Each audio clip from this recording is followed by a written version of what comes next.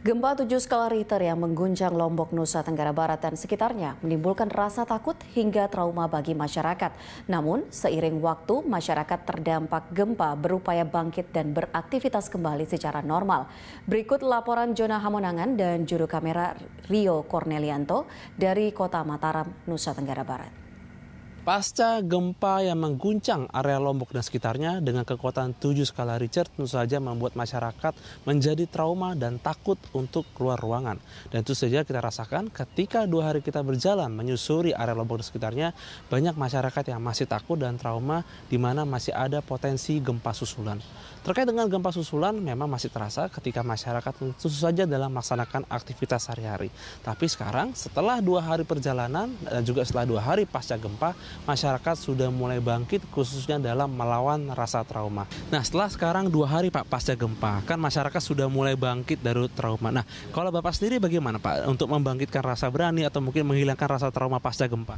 Ya, uh, seperti yang saya lakukan malam ini, saya coba jalan-jalan, mencoba melakukan biar kelihatan rileks dan uh, kembali tenang dan melihat suasana kota udah kembali hidup. Alhamdulillah kemarin kita berpikir uh, masyarakat di kota Mataram khususnya ini susah untuk bangkit dan kembali pada keadaan sebelumnya. Tapi alhamdulillah malam ini kota Mataram sudah begitu hidup lagi itu e, di mana masyarakat sudah mulai tenang tidak lagi trauma seperti dua hari sebelumnya. Mataram seperti kota mati di mana toko-toko banyak tutup warung-warung juga banyak tutup. Masyarakat kesulitan untuk mendapat apa berbelanja untuk kebutuhan pokok. Tapi malam ini luar biasa sekali dan kami berharap semoga gempa ini cukup uh, kejadian kemarinnya jangan sampai ini terjadi karena bencana ini begitu berat bagi kami beban apa kami rasakan terutama trauma di masyarakat dan anak-anak pun yang mengalaminya lama.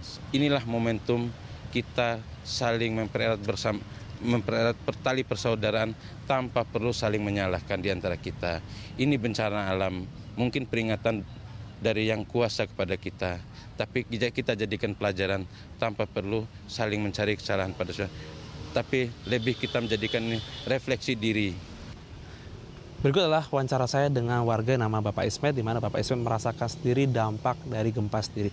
Dan saat ini saya berada di Taman Sangkaran, di mana Taman Sangkaran merupakan salah satu taman yang ada di Kota Mataram, di mana kemarin itu taman ini sangat sepi dikarenakan warga masih sangat uh, takut atau trauma, dan sekarang sudah pulih kembali atau muncul keramaian.